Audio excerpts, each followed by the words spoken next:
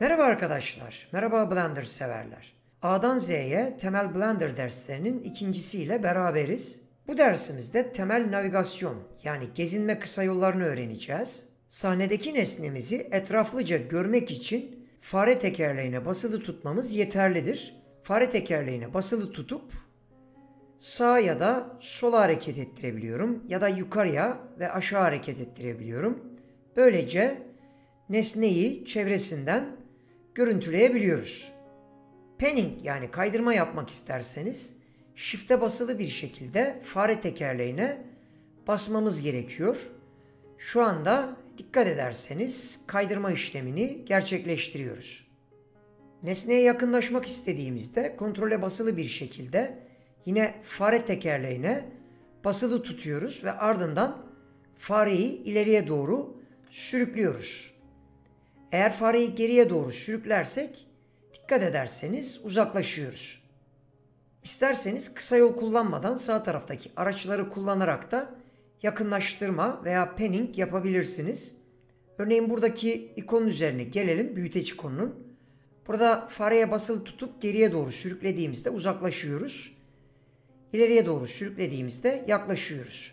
Panning yapmak için yine aynı şekilde aşağıdaki el ikonuna tıklayıp basılı tutup panning yapabiliriz. Yine etraflıca gezinmek için fare tekerleğine basılı tutmamız yeterli olacaktır. Oldukça temel düzeyde navigasyon kısa yollarımız bunlar. İsterseniz bir de numerik pet'teki kısa yolları tanıyalım. Numerik pet'te 1'e bastığınız zaman front ortografik görünüme geçersiniz. Yani ön görünüme. 3'e bastığınız zaman sağ görünüme geçeriz. 7'ye bastığımız zaman top yani üst görünüme geçeriz. Ortografik görünümden çıkmak için 5'e basabilirsiniz ve ardından tekrardan fare tekerleğine basılı tutarak gezinebilirsiniz. Ayrıca fare tekerleğini ileriye doğru sürüklerseniz yine nesneye yaklaşabilirsiniz.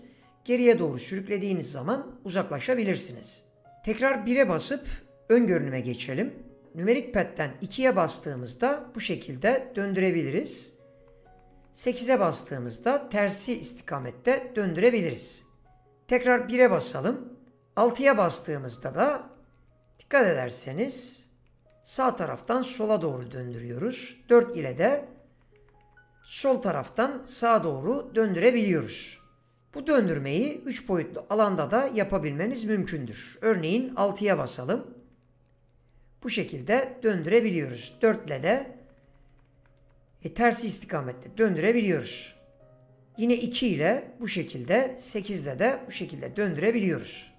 Tekrar fare tekerleğine basılı tutarak bu şekilde döndürebilirsiniz. 5'e basarak perspektif moduna geçebilirsiniz. Ortografik moddan çıkarız.